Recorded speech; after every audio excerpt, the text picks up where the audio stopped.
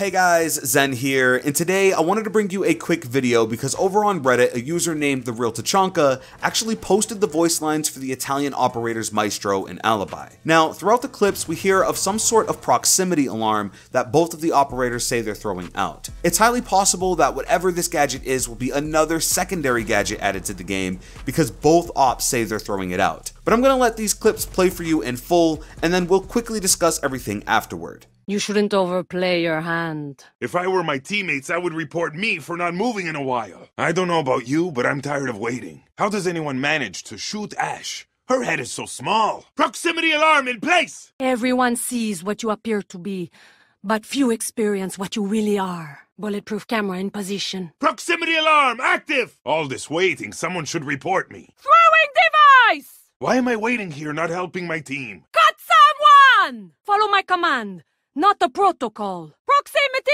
alarm! Porca miseria, I'm sitting on my ass, not helping. My evil eye ready to kill some stronzos. Ceasefire! Ceasefire! After this, drinks are on me. I haven't moved in a while. You should report me. If you see Sledge, don't shoot him. He bruises easily. My beautiful evil eye is ready. This reminds me of that time I was sent to Kirkuk. Remind me to tell you about it later. Throwing proximity alarm. First we win, and then we celebrate. Loading new magazine! Whatever you do, always follow through.